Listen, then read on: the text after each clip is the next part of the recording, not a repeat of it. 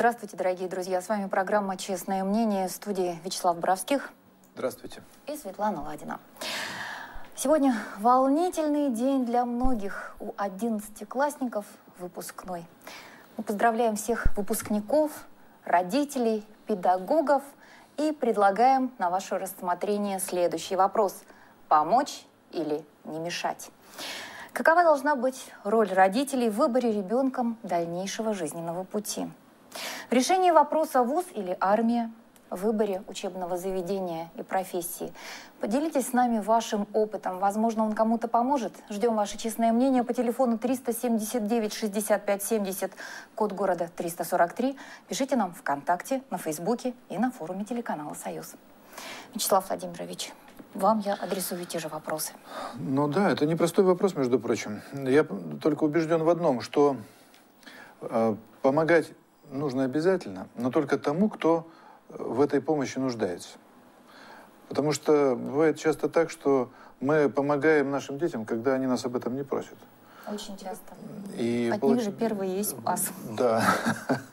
И получается, получается так, что э, мы им просто надоедаем и сбиваем их э, с толку.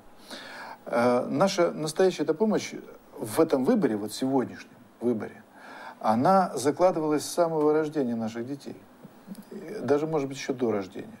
Мы их должны были воспитывать. Мы должны были воспитывать в них э, самостоятельную личность, способную принимать самостоятельную, самостоятельно ответственное решение.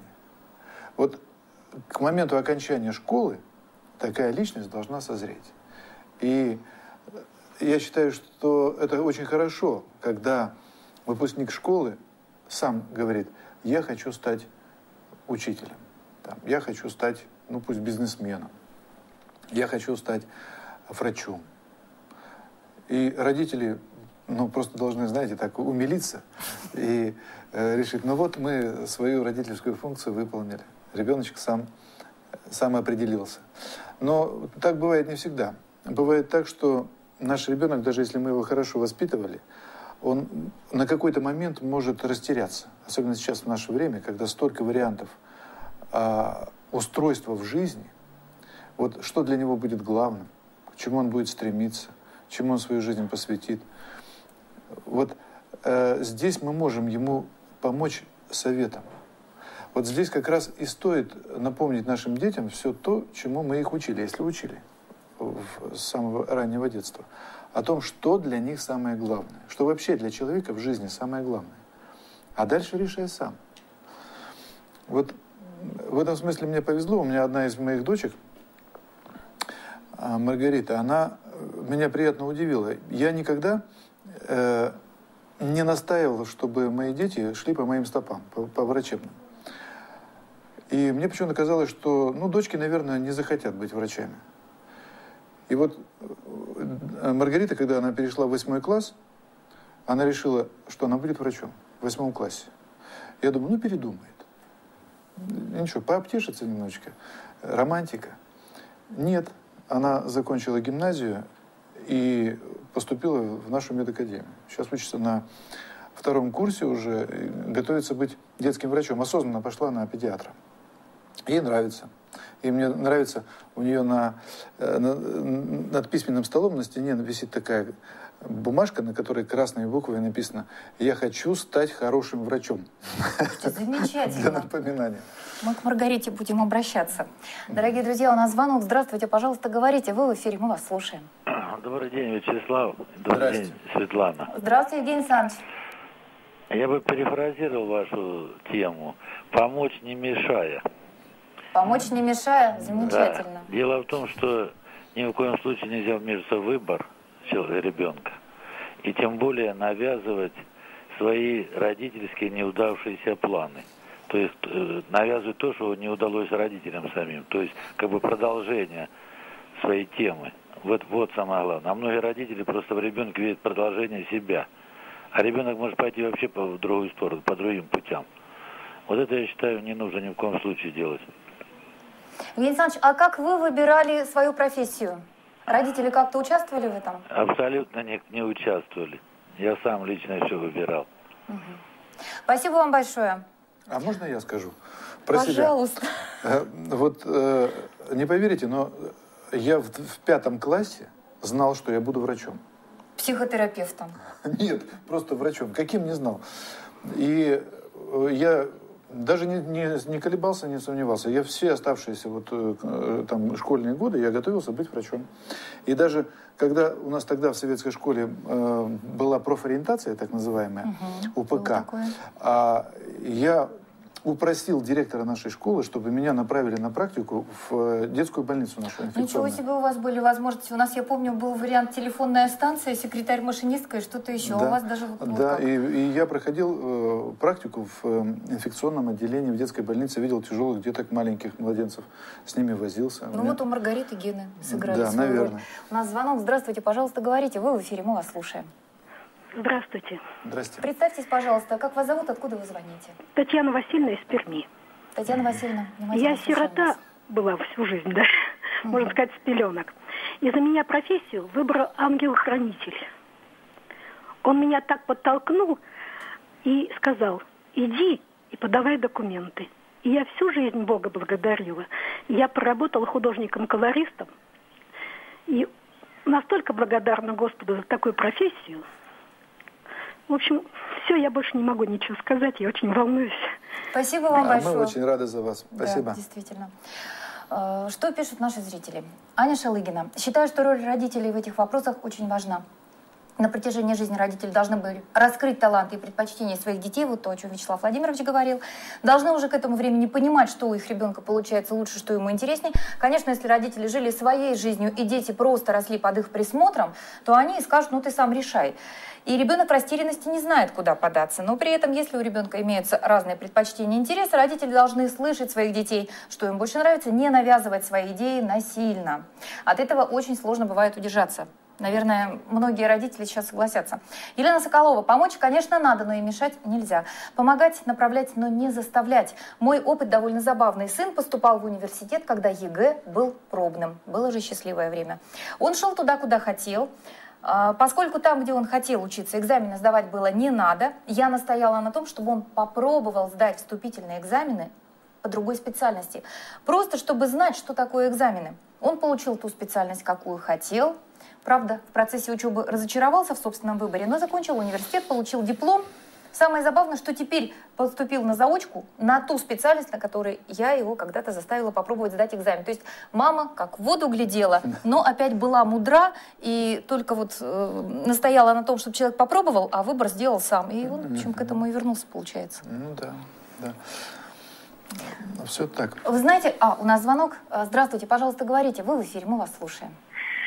Добрый вечер. Меня Давайте, пожалуйста, Я здесь из Свердловской области звоню. Угу. Просто, мне кажется, надо родителям руководствоваться родительской молитвой. Она вот у меня висит на стене.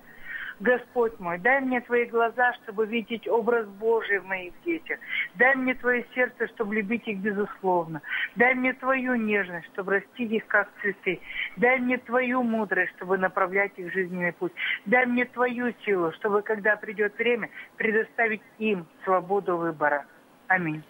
Спасибо, Аминь. и лучше не скажешь. Да, действительно.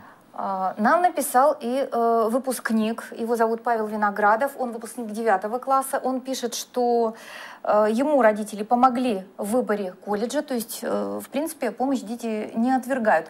Вот еще один из вопросов. Армия или вуз? Предположим, молодой человек не добрал баллы на то, чтобы поступить на бюджет, да, и перед родителями встает несколько вопросов. Первое, значит, э, вот все-таки мы оплачиваем его учебу, да, и он учится, э, и чтобы, чтобы не идти в армию, да, чтобы как-то отсрочить этот э, светлый миг. Либо еще один вариант – и известны такие случаи, когда родители э, каким-то незаконным путем освобождают сыночка от армии. Кстати говоря, такие случаи, вот э, на моей памяти есть как минимум один пример, заканчиваются очень плачевно. То есть жизнь человека складывается так, что лучше бы он пошел в армию. Э, Светлана, я вам так скажу. Вот э, на примере моих пациентов э, в реабилитационном центре э, 90% ребят, которые находятся у нас на реабилитации, это те, кто откосили от армии. Ну, это очень серьезная статистика. Просто вот... Да, так что э, не дать, не взять. Вот. И еще я хочу сказать такую, мне кажется, важную мысль для родителей. А, она не моя. Родители не должны бояться того, что дети ошибутся в своем выборе. В этом нет ничего страшного. А, они потом сами поймут, что они ошиблись, и научатся исправлять свои ошибки. А, человек так устроен, что он становится лучше не линейно-поступательно, стремясь к совершенству, а исправляя свои ошибки. Это закон человеческой природы. Поэтому не надо ему противиться. Пусть наш ребенок сам решит, кем он будет. И даже если нам будет очевидно, что он ошибся, пусть он поступит так, как хочет.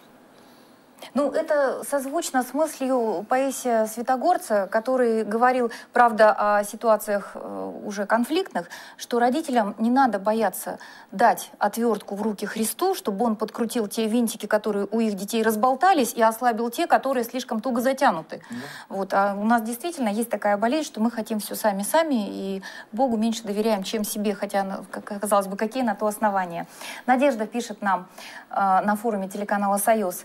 Всем добрый день. Мой старший сын поступил в техникум после девятого класса. Перед этим вместе обсуждали плюсы и минусы учебных заведений, но выбор он сделал сам. К этому возрасту родителями уже заложены все жизненные основы, так что нужно доверять детям и уважать их выбор. Молиться, предать жизнь детей в руки Божии. Я довольна выбором профессии своего сына. Сейчас он учится в университете. Главное, что ему нравится. Надежда, спасибо вам за участие в программе. А, Вячеслав Владимирович, что еще? Какие еще советы? Может быть, чисто практические. Как э, остановиться, может быть, когда очень сильно хочется советовать, и как, наоборот, не упустить момент, когда ребенок нуждается в нашем совете, а мы дистанцируемся и говорим, ну, ты давай сам. Вот, знаете, а вот здесь мы как раз затронули ту область, где никакие технологии не работают, кроме любви. А любовь – это не технология, это даже и не искусство, это такое состояние человеческой души а, родителя, матери или отца по отношению к своему ребенку, когда мы его очень хорошо чувствуем, мы его видим, мы знаем, что у него внутри, что его сейчас беспокоит. И именно это позволяет нам дать ему правильный совет. Или наоборот, промолчать, когда очень хочется сказать. Поэтому здесь надо руководствоваться этим. А это надо возгревать всю жизнь. И, кстати, наших деток тоже надо готовить э, быть родителями, чтобы они потом умели любить своих детей именно так и быть им полезными. И не только родителями. Напоследок, если позволите, пожелание выпускникам. Нам вот всем очень хочется, чтобы нас лечил знающий и ответственный врач. И отзывчивый при этом. И нам хочется жить в доме, который построил талантливый и ответственный, опять-таки, архитектор и строители были, в общем, ему подстать. И нам хочется, чтобы в общественном транспорте нас вез водитель, который знает и соблюдает правила дорожного движения. А если мы сами за рулем, то мы хотим, чтобы инспектора ГИБДД, которые нам встречаются, были бы справедливыми и грамотными, и законопослушными, а армия, которая нас защищает, опять-таки высокообразованные, отважные, мужественные. Ну и, в общем, понимаете, вот это вот сочетание э, грамотности и какие-то э, добрые человеческие качества, вот нам все, всего этого очень хочется. Так вот, эти люди не падают с неба и не материализуются из воздуха. Они вырастают из сегодняшних выпускников школы. Может быть, мы когда-нибудь действительно действительно заживем в такой сказке. И, может быть, еще при нашей земной жизни. Очень хотелось бы. Да. Дорогие друзья, спасибо вам за участие в нашей программе. Мы еще раз от души поздравляем всех выпускников, всех их родителей, всех педагогов. Желаем всего самого доброго и найти волю Божью каждому о самом себе.